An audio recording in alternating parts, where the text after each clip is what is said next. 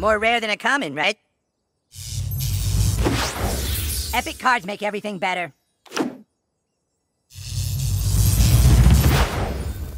Legendary, like the Adventures of the King.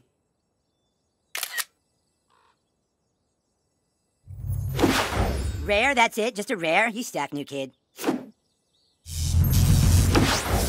Epics are pretty sweet, am I right?